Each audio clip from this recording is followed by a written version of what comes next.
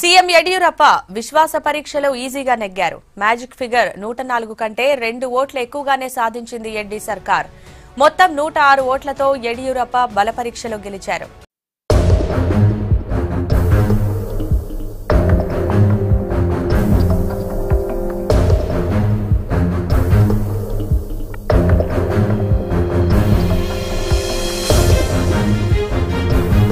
అంతకుముందు విశ్వాస తీర్మానంపై చర్చను ప్రారంభించిన సీఎం యడియూరప్ప ప్రతిపక్షం తమతో కలిసి పనిచేయాలని కోరారు. సభలోని సభ్యులంతా తనను ఏకగ్రీవంగా బలపరచాలని కోరారు. తనను వ్యతిరేకించే వారిని కూడా తాను ప్రేమిస్తానన్నారు సీఎం యడియూరప్ప. ప్రధాని మోడీ కేంద్ర హోంమంత్రి అమిత్ షా జేపీ నడ్డాకు ధన్యవాదాలు తెలిపారు సీఎం ఎడ్డి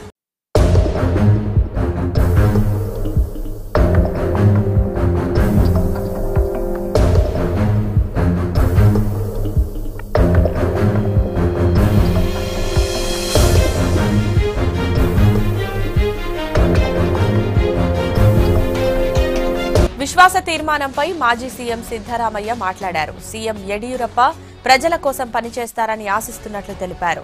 ప్రజలకిచ్చిన హామీలు నెరవేరుస్తారని నమ్ముతున్నట్లు చెప్పారు సిద్దరామయ్య ప్రజల కోసం పనిచేసేందుకు తమను ఎన్నుకున్నట్లు చెప్పారు సిద్దరామయ్య సీఎం యడియూరప్ప స్థిరమైన ప్రభుత్వం ఏర్పాటు చేస్తారని అనుకోవట్లేదని చెప్పారు. రాజ్యాంగ వ్యతిరేకమైన విశ్వాస తీర్మానాన్ని తాను వ్యతిరేకిస్తున్నట్లు తెలిపారు సిద్దరామయ్య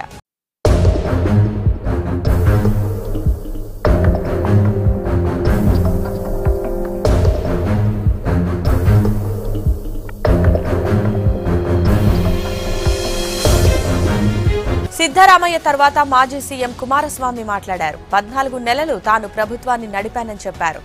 యడియూరప్ప అడిగిన ప్రశ్నలకు సమాధానం చెప్పేందుకు తనకేం అభ్యంతరం లేదన్నారు. తన మనస్సాక్షికి సమాధానం చెప్పాల్సిన అవసరం తనకుందన్నారు.